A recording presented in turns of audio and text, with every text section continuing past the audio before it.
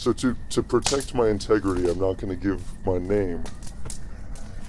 And hopefully you're going to use some really cool voice changer because people might know me because of my voice because I am a famous radio personality.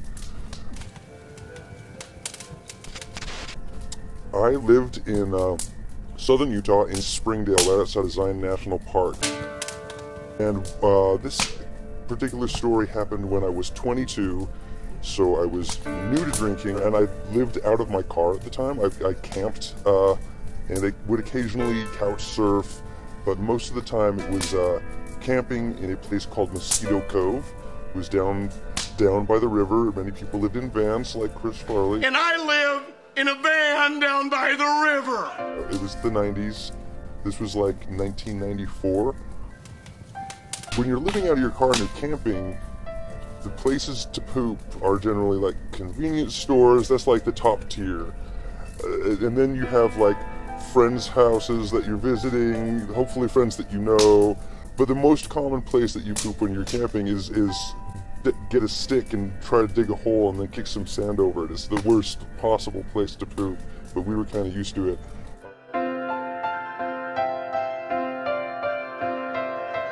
So the the day this happened, I had uh, gotten off of work and was leaving Springdale and was heading towards this uh, Mosquito Cove and uh, stopped at a stopped at a gas station to just get a few supplies.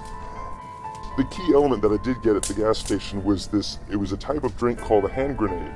It was it was Mickey's malt liquor. Smooth Mickey's malt liquor. Just bought one but just pounded the whole thing because I didn't want to. I did, you know, left the gas station, drank it all, and then threw it away because I didn't want to have open container in my car. So I'm driving. It's like a 10 minutes drive away, and and the, the beer in my stomach was making me way drunker faster than I was expecting, and I was just like, oh, I, I don't feel very good. I better hurry and get to camp. And I get to camp, and there's people there who don't normally camp there, who are just like, oh, nature, oh, look, rocks and trees, let's take pictures. And I'm like, get out of here! And I'm rushing around trying to find a bush, and there's not a lot of cover in this spot. And it keep bumping into like people who want to chat, stuff like. Hey, Mike, how was work? You want to come smoke a doobie in my van? You want to listen to the latest Widespread Panic bootleg I got? It's awesome, bro. And, and I'm just like, I gotta get back to you.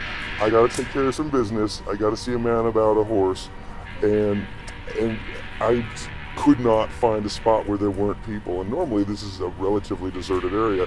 And just and didn't ha- sometimes I have an actual little shovel. This literally was trying to dig a hole with a stick, and while I'm bent over trying to dig a hole with a stick, just kaboom.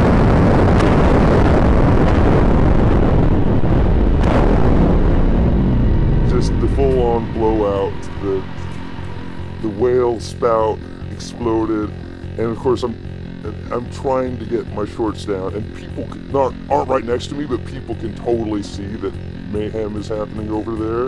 It was so bad. It reminded me of those dreams, those public humiliation dreams where you go to school and, and you look down and you're only wearing your underwear. Because I was like, people are seeing me in the in the worst like that anyone could possibly see me. If I was alone at, at home, I would have been mortified.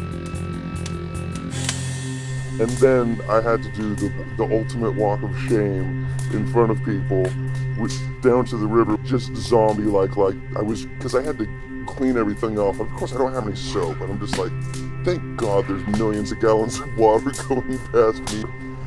And squat, squat down in the river, and I'm I'm crying because I'm because I'm half drunk and mortified, and I'm trying to figure out how I can get clean and not get. And it's uh, how do you clean and not get shit all over your hands when you've got a load of shit in your pants and you need to clean your ass off? You just can't. It's you, if you're trying to polish a turd, you get shit on your hands. That was the first and last Mickey's hand grenade I ever drank.